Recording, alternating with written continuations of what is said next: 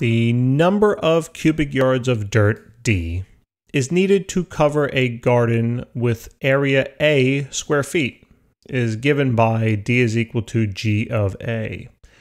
A garden, so letter A, a garden with area 5,000 square feet requires 50 cubic yards of dirt. Expresses information in terms of the function G.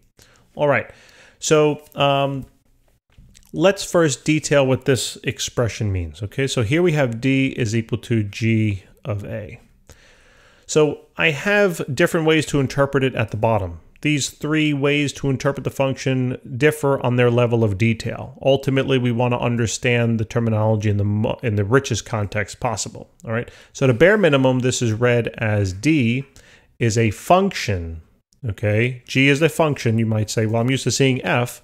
I know, but they said in the in the problem they said a function g. Okay, so just interpret g as an as function.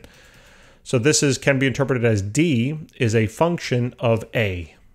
Easy enough. Well, now what does d mean and what does a mean? Okay. Well, d represents the amount of dirt and a represents the area. So in a richer context now, I can say that the amount of dirt is a function of area.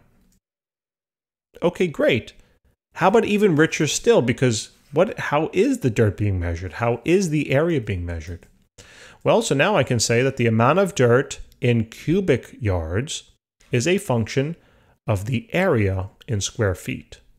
Okay, and that is the best way to interpret this, the richest context. So now all we need to do, remember the units for dirt would uh, is okay cubic yards and the units for area here are going to be square feet.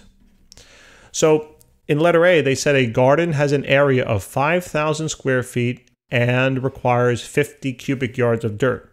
So basically, all we need to do is make sure we have the appropriate units, which we do, and then we just can simply plug in these numbers into our equation here.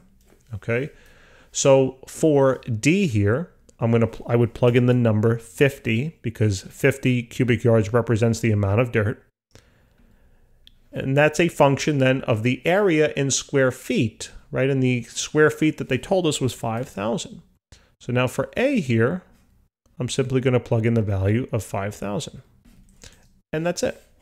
That's how you would write that formula out. It's so simple, but in terms of interpreting this, it's actually quite challenging, okay?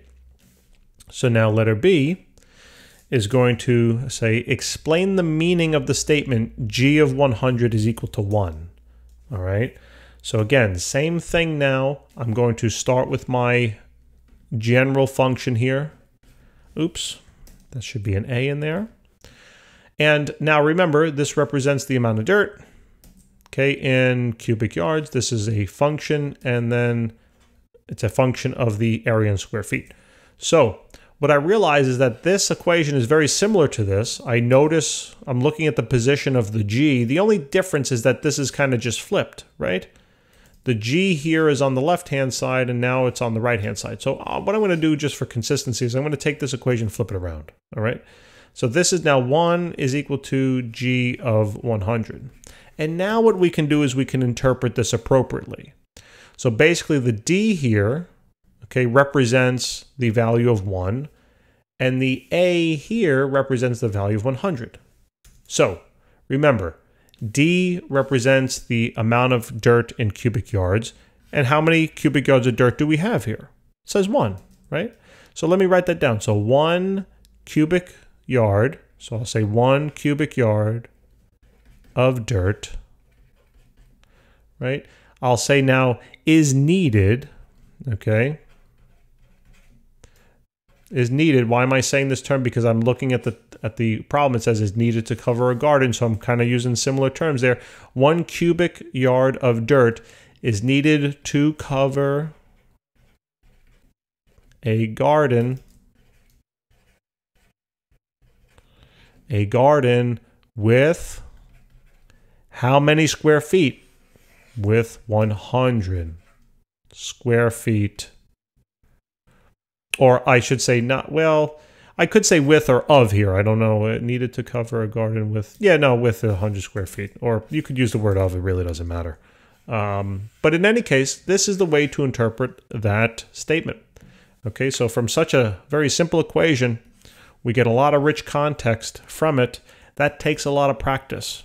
Okay, in order to um, in order to understand all the meaning that's behind, you know, the these uh, these couple of, of brush strokes here, G one hundred and one. Okay, so hope this helped, guys. Please remember to subscribe, and I look forward to helping you out with the next question. Take care.